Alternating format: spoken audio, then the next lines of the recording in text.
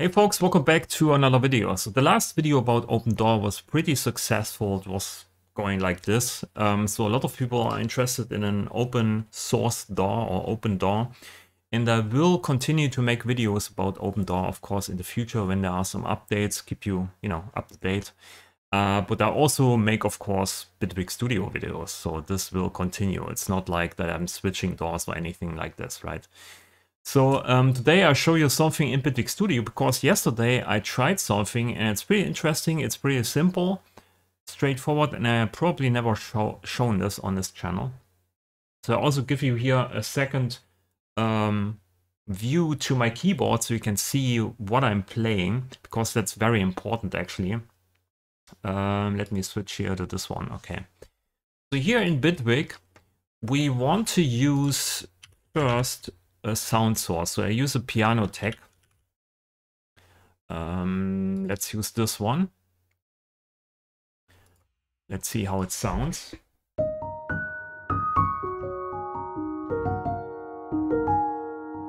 So kind of works, okay. So yesterday I want to create some kind of loopings or loops um, and I didn't want to use a VST. So I thought about, let's try out the delay one. So this delay is pretty old. It's around since the beginning of Bitwig Studio.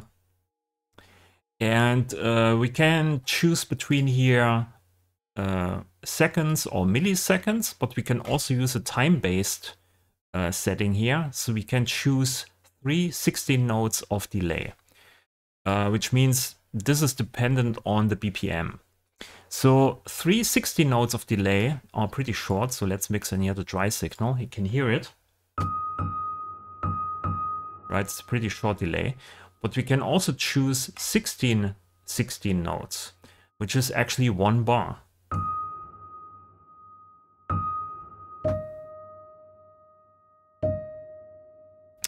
And when we have here this filter completely open and we pull up this feedback volume to 0 dB and play something into the buffer, you can hear it plays endlessly without, you know, playing me playing on the keyboard.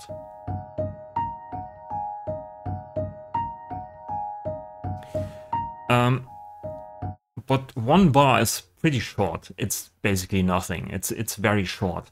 So my idea was how can I make this buffer actually longer? And you can do by just putting here another delay one into the F, FBFX, into the um, yeah feedback chain. So in here we also choose 16 16 notes, which is one bar, mix all the way up, feedbacks all the way down, and filters all completely open. So now we have here a delay of one bar and another bar, so two bars.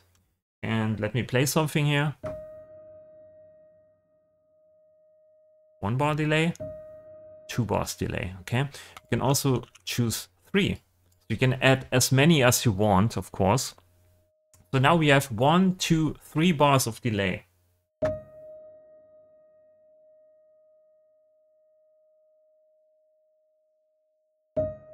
Okay, so three full bars of delay, which is very long.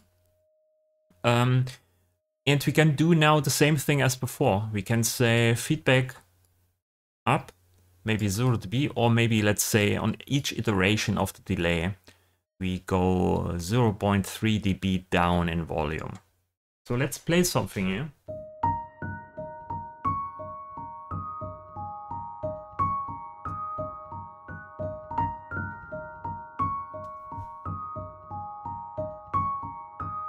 And you can hear it's it's basically not looping very well because yeah, I don't know the timing. There's no, you know, metronome to play to, so it's pretty out of yeah, out of the grid. So my idea yesterday was to actually play something without using the metronome. I'm using a quantizer and say quantize everything, every incoming note to a 8 note grid. So now I can't play out of out of the beat grid with my keyboard because everything is quantized on the fly, okay? So I can now do the same thing here.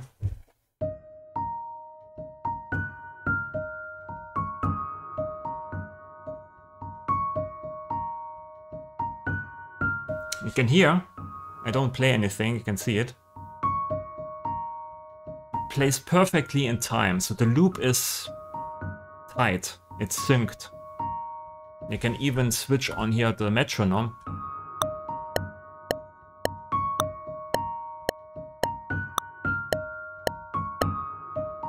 So it's perfectly aligned. Just using this quantizer here in front of the piano. And this loops kind of endlessly. Maybe you go down here a bit with the volume over time. And now um, you can feed some some more audio into this three bar long loop.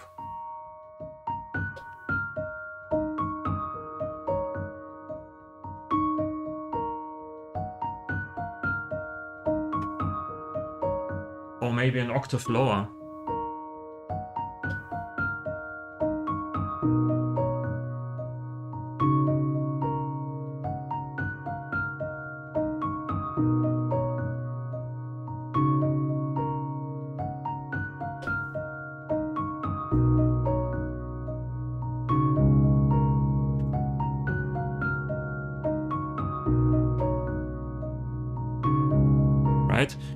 Can also change the sound source here to something different or maybe use reverb. Um, push this up. And then feature this piano into this reverb and then into the delay buffer. See how this sounds.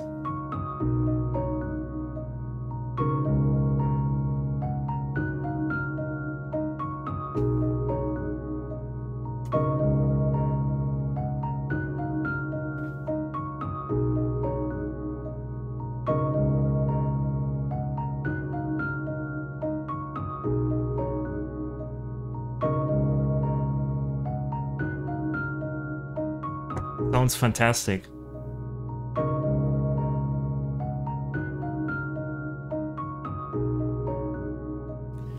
Okay, let's switch switch this off. Actually, you can't delete the buffer. You have to pull the feedback down. Um, so what we can do now is we can uh, put this into an FX layer, right? We use Control NG.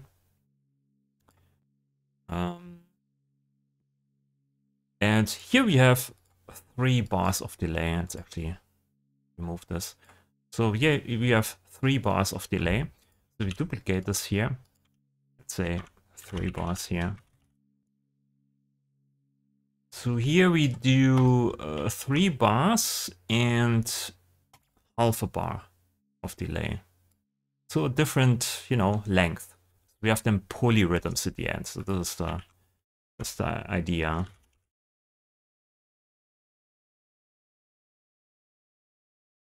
And here maybe we do something a bit shorter. We do uh, maybe two or maybe one bar and a half or three quarters. So yeah, let's try this one. Then we can use a tool device in front and we don't want to feed anything into this, this um, layer here. And maybe nothing in this layer, only in this layer. We also push up here the mix and use this mix instead. Yeah. Uh, we also need this here.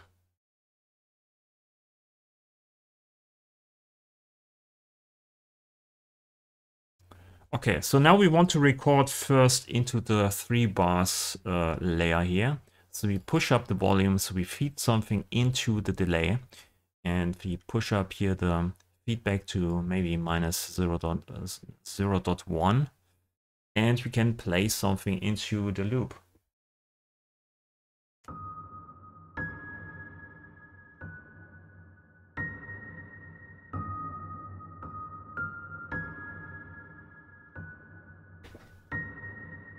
Okay, pull this down.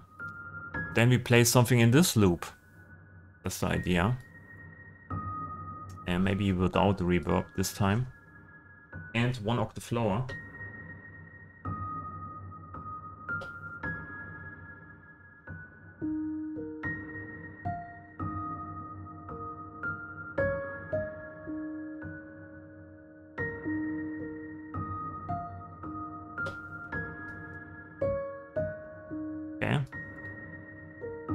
Then we play something here into this, which is actually not three bars, it's one bar.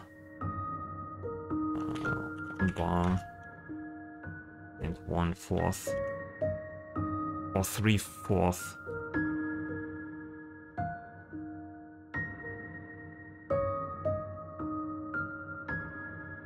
Feedback up and this up.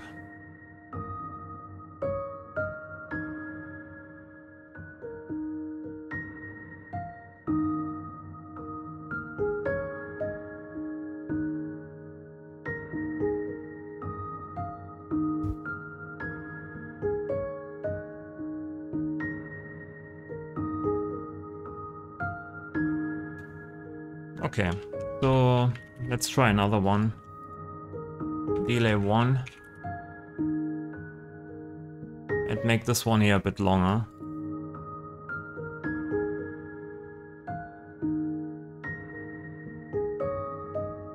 Um, this is okay.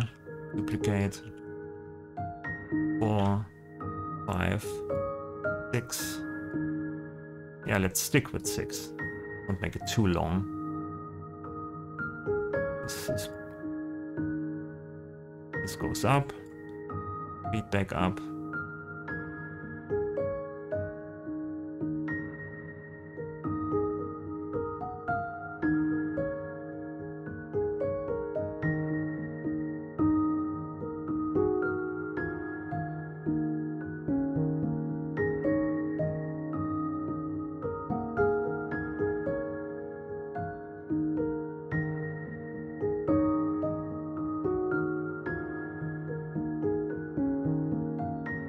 Then you create layers upon layers with different loop lengths and you have like this kind of, um, um, what's it called, audio overdub that you can use.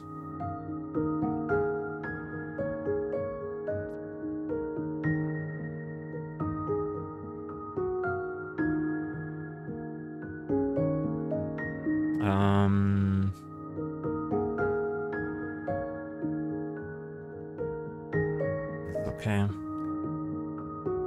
Feedback goes up. This is all down. Okay. Now we can, instead of piano, we can maybe use synth.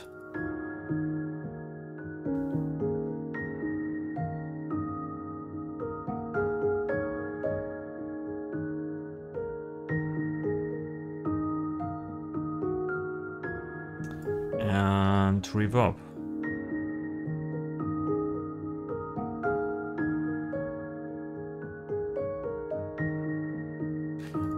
Maybe you use here unison, uh, union. This one and a bit of delay or LFO.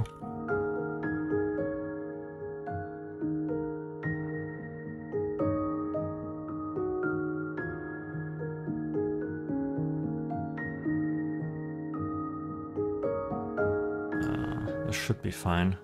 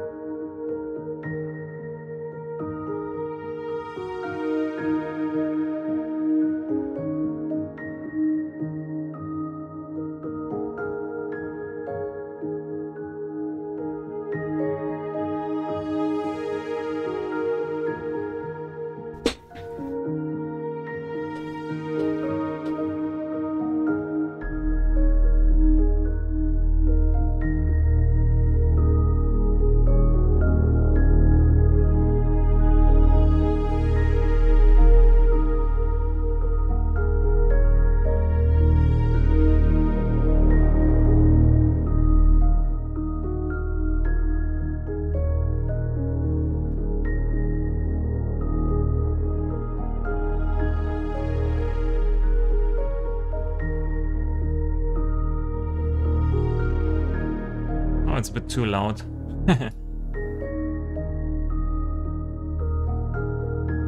yeah, of course you can uh, use inside of these chains some more audio effects to degrade on every iteration of the feedback loop.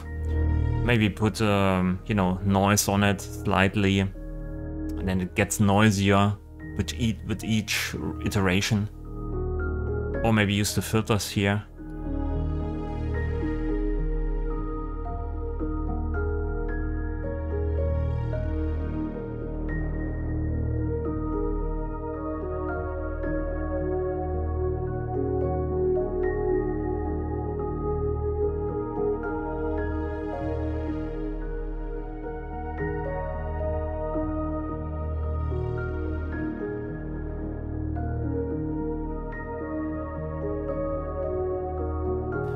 Yeah, and it's basically um, synchronized here still.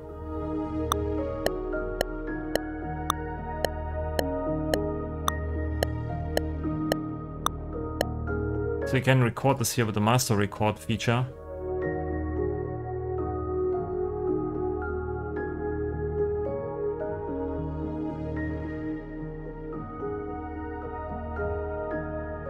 And then use it as a sample for an next track project or whatever. So this is what I did yesterday and I think it's really nice just to use multiple delay ones and chain them together here, stack them, nest them, and you get a nice big long polyrhythmic looping device um, just with this. It's very nice to use. It's very fun to use. You can hear, you can create ambient tracks with this in no time.